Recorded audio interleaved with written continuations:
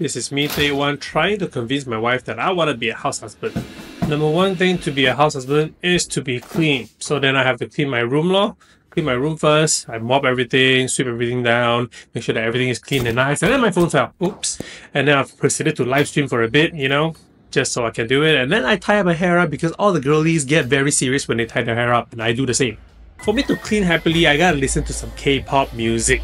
House is still damn messy lah because uh, we just came back from a trip, so bo pian lor. Then continue to clean, clean, sweep, sweep, make sure everything is nice, dust it off. Say hi to Miso. Some pastries from the bread bar. Mmm, so good. After tidying the living room, then I go and do my laundry lor. Because it's very important to have clean clothes every day. Meet my best friend, Robobo. Very clean. Must have my daily cup of coffee. Coffee cannot live without. Looking for some cooking ideas, lor? Play my cat. So to put this out? Must have egg drop soup.